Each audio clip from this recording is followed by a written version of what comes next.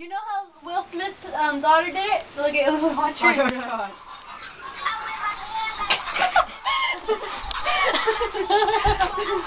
no, no, no.